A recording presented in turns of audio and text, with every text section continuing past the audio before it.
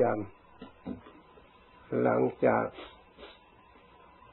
ทำวัดสวดมนต์เสร็จแล้ว เราก็สร้างปรมีต่อ คือภาวนา บุญกุศลทั้งหลาย มารวมอยู่ที่ภาวนา เมื่อบุคคลภาวนาแล้วชื่อว่าได้ทำบุญทั้งปวง สร้างกุศลทั้งปวง เพราะเหตุใดเพราะว่าผู้ภาวนานั้น จะต้องเสียสละ เวล่ำเวลาเสียสละจึงภาวนาได้ เพราะฉะนั้นคำว่าทาน คือการบริจาคหรือการเสียสละ ผู้ภาวนาคือเป็นผู้เสียสละคำว่าศีลผู้ภาวนานั้นมีความสำรวมกายสำรวมวาจาอยู่แล้ว ตลอดถึงสำรวมจิตใจ เจตนาที่จะทำความชั่วไม่มี เพราะฉะนั้น บุญกุศลที่ว่าสินละไมก็ย่อมรวมอยู่ในการภาวนา สติที่ยังไม่เกิดก็เกิดขึ้น เพราะภาวนา ปัญญาที่ยังไม่เกิด ก็ย่อมเกิดขึ้น เพราะการปฏิบัติภาวนานี่เอง ภาวนานี่จะยังจิตใจของเราให้เกิดสัมมาทิฏฐิให้เกิดความเห็นชอบเห็นตรงถูกต้อง ตามครองธรรมที่พระพุทธเจ้า ได้พาประพฤติปฏิบัติมา เพราะฉะนั้นเราควรยินดีในการภาวนาด้วยความพอใจ ด้วยความเลื่อมใส ด้วยความตั้งใจจริง ๆ เพราะคำสอนพระพุทธเจ้านั้น พระองค์สอนธรรมะที่จริง ให้คนประพฤติจริงและปฏิบัติจริง จึงจะได้ พบธรรมะอันเป็นของจริงอย่างประเสริฐ ถ้าเราไม่ปฏิบัติจริงทำสักแต่ว่าทำปฏิบัติสักแต่ว่าปฏิบัติ ผลที่จะบังเกิดก็สักแต่ว่าบังเกิด มันไม่แน่นอน มันไม่มั่นคง ได้บ้างไม่เสียบ้างนิดนิดหน่อยหน่อยเพราะผลกับเหตุมันกลมกลืนกัน มาด้วยกันเป็นคู่กันอยู่เสมอ ในทางธรรม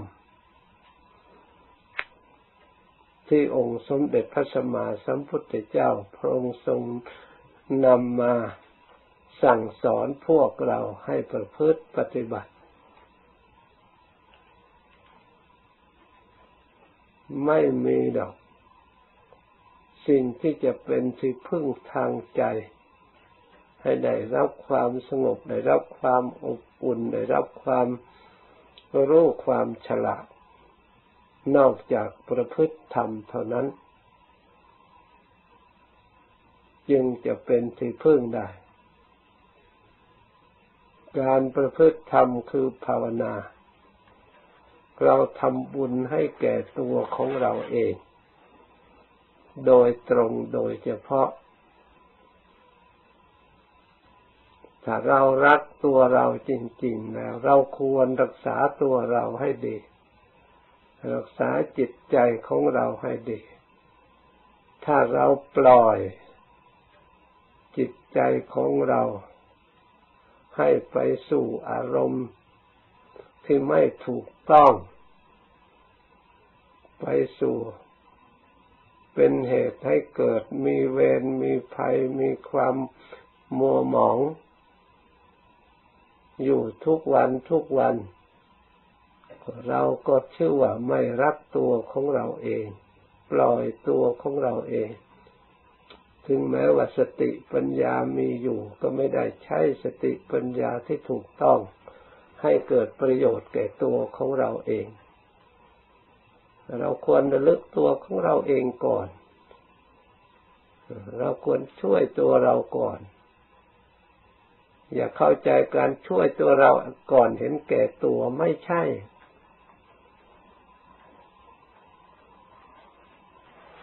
ถ้าหากการช่วยตัวเองเห็นแก่ตัวพระพุทธเจ้าพระองค์ไม่ได้ช่วยใคร เขาร้องห่มร้องไห้ขอขอร้องไม่อยากให้พระองค์ ออกไป พระองค์สลัดทิ้งไปในป่าพระองค์เดียว ถ้าคนสมัยปัจจุบันก็ว่าเห็นแก่ตัว แต่พระพุทธเจ้านั่น พระองค์ว่าการเห็นแก่ตัวแบบพระองค์นี่ควรเป็นเยี่ยงอย่าง เพราะเหตุใด การที่จะช่วยคนอื่นเราต้องมีเสียก่อน เรามือเปล่าจะไปช่วยใครได้ เราจะให้ศีลกับคนอื่นเราก็ต้องมีศีลเราจะให้ทรัพย์แก่คนอื่น เราจะต้องมีทรัพย์ เราจะให้ความสงบแก่คนอื่น เราก็ต้องมีความสงบจึงจะให้เขาได้นี่การเพราะฉะนั้นการช่วยตัวเองวิธีนี้แบบพระพุทธเจ้า ไม่จัดว่าเห็นแก่ตัว แบบที่ว่าโลกคือความหมายของโลกพูดกัน เมื่อเราช่วยตัวเองได้แล้วจึงจะช่วยคนอื่น เราอยากจะช่วยคนอื่นก็ต้องมาดูเราเสียก่อนเรามีอะไรจะช่วยเขา เมื่อไม่มีแล้วเราจะช่วยอย่างไรเราจะช่วยญาติพี่น้องช่วยลูกช่วยหลานช่วยเนี่ยเราก็ต้องมีเสียก่อน เพราะฉะนั้น การประพฤติปฏิบัติอบรมจิตใจของเรา ให้มีสติชอบ ให้มีปัญญาชอบ ให้มีความเพียรพยายามชอบ ความชอบเหล่านั้นจะได้อบรมจิตใจของเราให้เป็นสัมมาทิฏฐิเกิดความเห็นชอบด้วย เมื่อมีความเห็นชอบเราก็จะได้ดำริชอบ เราจะได้ทำการงานที่ชอบ เราจะได้พูดแต่สิ่งที่ชอบประกอบไปด้วยประโยชน์ เลี้ยงชีวิตที่ชอบ เท่ากับว่าเราได้ปฏิบัติเจริญรอยตามองค์สมเด็จพระสัมมาสัมพุทธเจ้า มื่อเรามีความชอบมีความดีในตัวของเราเป็นเยี่ยงอย่างที่ดี เรามีความสงบมีความสุข ไม่มีเวรไม่มีภัย เราจึงช่วยคนอื่นนะไม่มีเวรมีภัย ใครจะทำประโยชน์ช่วยโลกใจยิ่งกว่าพระพุทธเจ้า ผู้ที่ไม่เห็นแก่ตัวใครช่วยอะไรได้บ้างได้กี่มากน้อย พระพุทธเจ้าพระองค์เห็นแก่ตัวสลัดออกไปประพฤติปฏิบัติผู้เดียวไม่สอนใครนะเมื่อพระองค์มีกำลังเพียงพอแล้วพระองค์มาช่วยนั่นเราก็เหมือนกันไม่ใช่ว่าใจจืดใจจางไม่ช่วย ลูกไม่ช่วยหลานไม่ช่วยใครแต่เรายังไม่มีอะไรจะช่วยในความสุข เพราะด้วยอมิตรด้วยวัตถุด้วยสิ่งอื่น ถึงอย่างไรเขาก็ทำอยู่ในโลก ส่วนช่วยอย่างประเสริฐให้สิ่งที่อย่างประเสริฐคือให้สติให้ปัญญา ชื่อว่าให้อมตะ เพราะว่าเมื่อทำให้สมบูรณ์บริบูรณ์แล้วกินไม่หมด เป็นสมบัติของจิตใจ ไปอยู่ที่ไหนก็ใช้ไม่หมด เพราะปัญญาอันนี้เอง อยู่ในมนุษย์โลกก็ได้ความสุข เพราะปัญญาที่ได้อบรมฝึกฝนมาดีแล้วมีความชอบ ละขันมนุษย์ไปแล้วก็ยังได้ไปสวรรค์เพราะปัญญาอันนี้จะพาไป สติปัญญาที่เราปฏิบัติดีนี่เองจะไปเทวโลกพรหมโลกตลอดถึง โลกุตระสูงสุดในศาสนา ก็ล้วนแต่ไปด้วยสติด้วยปัญญาอันชอบนี่เอง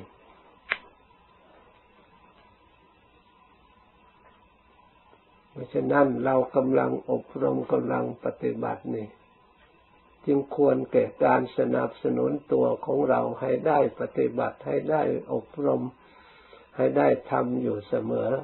เพราะเราเดินตามทางที่ชอบแล้ว ไม่ใช่เราคิดทำเองพระพุทธเจ้าพาปฏิบัติ พระพุทธเจ้าพระองค์พ้นจากทุกข์แล้ว เพราะปฏิพระองค์ปฏิบัติดีปฏิบัติชอบแล้วทำให้สมบูรณ์บริบูรณ์แล้ว พระองค์อาศัยความเอ็นดู เพื่อประโยชน์เกื้อกูล แก่ชาวโลก พระองค์จึงได้ แนะนำพร่ำสอน ทุกสิ่งทุกอย่าง บริสุทธิ์บริบูรณ์ทุกอย่างคำสอนที่พระองค์ได้สอนไว้ ให้เราศึกษาและเราปฏิบัติ ถ้าใครสนใจตั้งใจจริงแล้วก็สามารถที่จะพึ่งตัวเองได้ เป็นที่พึ่งได้ เพราะที่พึ่ง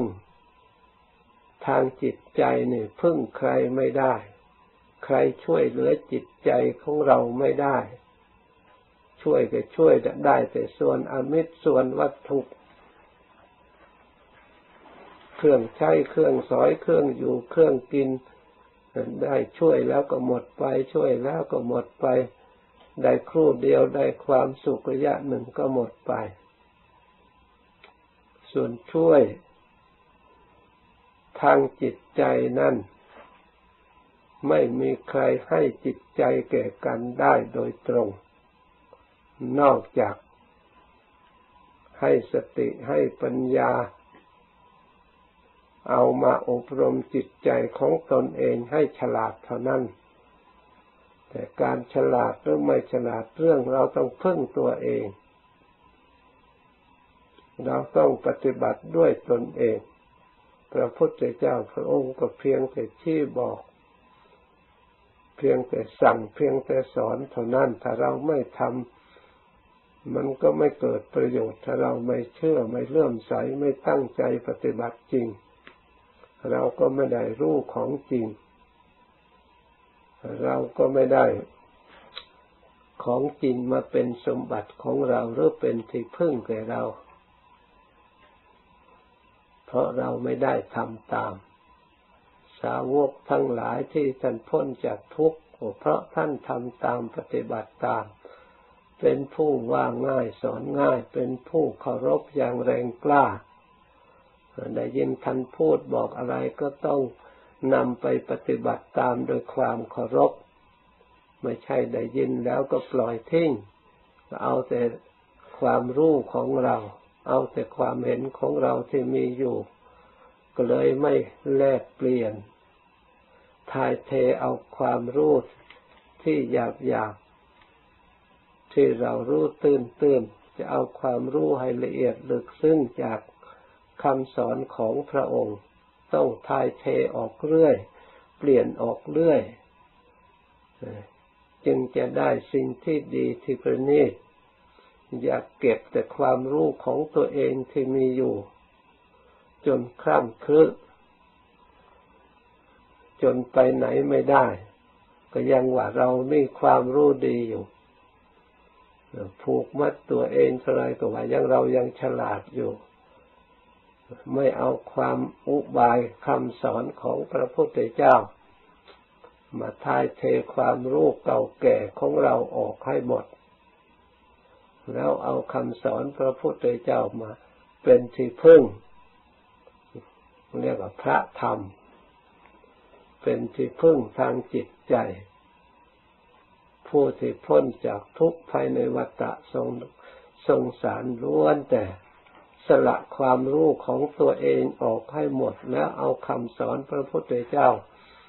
มาเป็นที่พึ่งจึงได้พ้นจากเวรพ้นจากภัย การให้ทานก็เราก็ให้ทานตามคำสอนพระพุทธเจ้า การรักษาศีลเราก็รักษาศีลตามคำสอนพระพุทธเจ้า ตามพระองค์ที่พระองค์ได้ทำมาแล้ว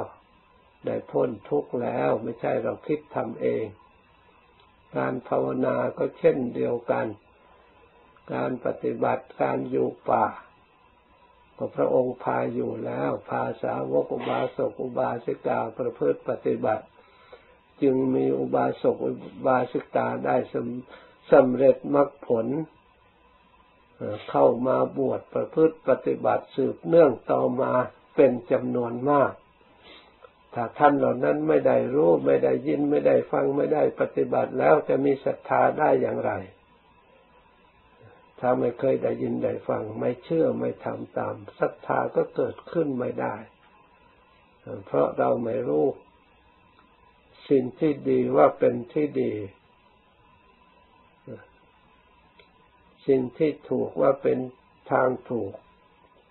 อย่างแท้จริง ที่รู้ก็เพราะอาศัยได้ยินได้ฟัง เพราะอาศัยการปฏิบัติตาม เพราะอาศัยเป็นผู้ว่าง่ายสอนง่าย เพราะอาศัยเป็นผู้มีจิตใจความเคารพเชื่อฟัง รับปฏิบัติตามด้วยดี สิ่งเหล่านี้แหละเท่ากับเราเปิดประตู หรือเปิดทางให้น้ำสะอาดบริสุทธิ์มาชำระจิตใจของเรา เราไม่เก็บสิ่งที่หมดค่าหมดราคา แล้วให้มากหมมอยู่ในจิตใจของเราต้องทายเทสิ่งที่มันผ่านไปแล้วสิมีคุณค่าน้อยหรือจะหมดค่าหมดราคาใช้ไม่ได้เราต้องเอาสิ่งที่มีคุณค่าเข้ามาใช้ได้อยู่เสมอ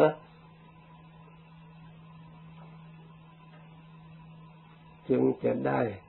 ประสบความสำเร็จประสบความสุข เหมือนเรามาเสียสละมาอย่างนี้ก็อาศัยศรัทธาของเราที่มีเป็นต้นทุนอยู่แล้ว แต่เรามาปลูกฝังศรัทธาของเรารดน้ำพรวนดินใส่ปุ๋ย เพื่อจะได้ผลิตดอกออกผลขยายกว้างขวางต่อไปอีกนี่เราเรียกว่าปลูกศรัทธา แล้วบำรุงให้งอกงาม ปลูกฝังศรัทธา ในจิตในใจ เมื่อศรัทธามีแล้ว ปัญญาก็จะมีตาม เพราะความเลื่อมใสแล้วจะเป็นผู้มีความเคารพตามมา เป็นผู้เชื่อฟังโดยเคารพ ยิ่งเคารพละเอียดแต่เคารพอ่อนน้อมอย่างสุด ซึ่งยิ่งละเอียด การปฏิบัติก็ละเอียดไปด้วย เพราะเชื่อ ยอมรับยอมทำตาม จิตใจก็อ่อนน้อมเมื่อจิตใจอ่อนน้อมล่ะนะเข้าไปตรงไหนก็ได้ธรรมะส่วนละเอียดเท่าไรก็เข้าไปได้ ถ้าแข็งกระด้างมันขัดขวางมันเข้าไปไม่ได้ ถ้ามันอ่อนเข้าไปอย่างไรก็ได้ทางพระพุทธเจ้าสอนให้เปลี่ยนก็เปลี่ยนได้สิ่งที่ไม่ดีให้ละก็ละได้สิ่งที่ไม่ดีที่พระองค์สอนว่าไม่ดีนะสิ่งไหนที่ดีที่พระองค์ให้ปฏิบัติก็ปฏิบัติได้ เพราะมันอ่อนมันน้อมไม่เหมือนแข็งเข้าใจได้สนิทในธรรมนั้นนั้นป ฏิบัติได้สนิทก็ได้สัมผัสกับความสงบ ได้สัมผัสกับความสุข ไม่มีเวรไม่มีภัยจากภายนอก เพราะเราเชื่อทำคำสอนพระพุทธเจ้าย่อมป้องกันภัยอันตรายทุกอย่าง แม้แต่ขับรถขับเรือก็เราเชื่อคำสอนพระพุทธเจ้าว่ามีสติไม่ประมาทอย่าเล่งถนนหนทางเราเห็น แม้แต่ไปตามทางแล้วก็ยังต้องระวังอีก ระวังรถด้วยกันสวนมา ระวังทางสี่แยกที่จะเปลี่ยนเลี้ยวนะเราก็ต้องระวังอีก อันนี้ก็เหมือนกัน เราได้ภาวนาแล้วก็ต้องรักษาระวังอีก มาอยู่วัดแล้วก็ไม่ใช่ว่าเป็นบุญทุกอย่าง จะต้องมีศีลจะต้องสำรวมกายสำรวมวาจาจะต้องมีสมาธิเพิ่มขึ้นอีก ให้เป็นเครื่องเบากาย เป็นเครื่องสงบเครื่องวิเวกถ้าจิตใจได้เข้าถึงความสงบวิเวกล่ะ เป็นกำลังใจขึ้นมาแล้วทีนี้ได้จากสมาธิภาวนาศรัทธายิ่งเพิ่ม จิตใจยิ่งอ่อนน้อมยิ่งไม่ประมาท ยิ่งขยันทำความเพียรภาวนาไม่ลดละ ยิ่งจะนั่งได้ นานเท่าไรก็ยิ่งสบาย แต่ก่อนศรัทธายังไม่เพียงพอปัญญายังไม่เพียงพอนั่งเล็กๆไม่น้อยปรากฏว่าเจ็บปวดนานเหลือเกินถ้าศรัทธาเพียงพอล่ะนั่ง ยิ่งดูดดื่มไปตามระดับ ยิ่งได้ความสุขนาน ถ้าเราปฏิบัติถูกเพ้นผลขึ้นมา ถ้าอย่างนี้แล้วมันจะไปนรกได้อย่างไร จิตใจมันพร้อม ที่จะไปสุคติ จิตใจที่พร้อมที่จะสงบพร้อมที่จะพ้นจากเวรจากภัย